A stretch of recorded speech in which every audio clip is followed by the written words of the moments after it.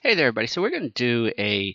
I need to come up with a new intro instead of "Hey there, everybody." So uh, I'll work on that next time. I'm going to do a quick series of just some one-off things. Now that now that I've got my my whatever this is, my doorway ready. I've got the I've got a low poly. Oops, let's. So I've got my low poly, and it is all unwrapped. If I didn't hide it. This is not going well so far. Too early. Okay, there we go. So my low poly is unwrapped. No.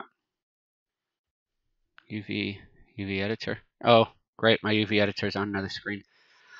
Okay, Windows workspaces. So much for being short, huh? So my low poly is all unwrapped. Cool. So I'm ready to go ahead and save out a snapshot from here. So I'll just do a image UV snapshot. And I'm going to save this into my directory where I'm working on stuff. So let's see. I have a doorway directory somewhere. I hope. I had one once upon a time. There it is, doorway. And I've already created all these subfolders for so that way I'm going to be able to keep everything structured.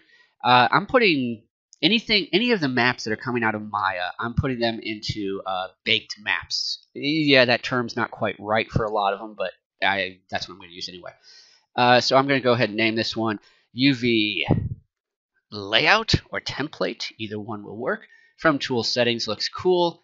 I'm going to do a Maya IFF. So I'm going to do everything on this one at 2048.